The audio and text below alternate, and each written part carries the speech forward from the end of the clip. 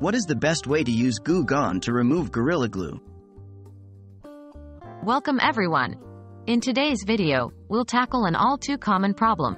How to use Goo Gone to effectively remove stubborn Gorilla Glue residues. Stick with us and by the end of this video, you'll have a clean surface and peace of mind. What will you need? First, let's gather the necessary supplies. Goo Gone, clean, soft cloths, warm water, mild soap, plastic scraper, or an old credit card please remember, safety first.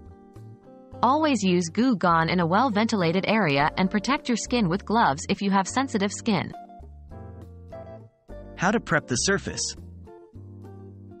Before applying Goo Gone, try to remove as much of the Gorilla Glue as you can manually.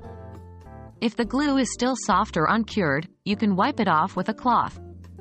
For dried glue, gently use your plastic scraper or old credit card to chip away as much of the glue as possible without damaging the surface. Be patient and gentle during this process.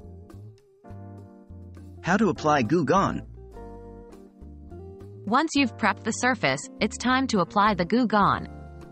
Pour a small amount of Goo Gone onto a clean cloth and gently rub it over the Gorilla Glue residue.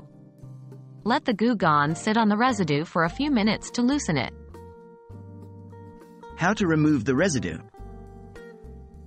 After letting the Goo Gone work its magic, take your plastic scraper or old credit card again and gently scrape off the loosened glue.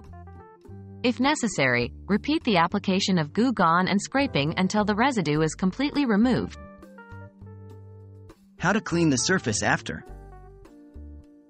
Once you've removed all the Gorilla Glue residue, it's important to clean the area with warm water and mild soap to remove any remaining Goo Gone.